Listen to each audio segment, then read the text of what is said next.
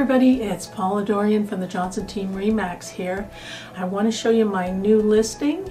It's coming up right now. If you have any questions, just let me know. I'll be happy to answer them. And let's have a peek. Here it is.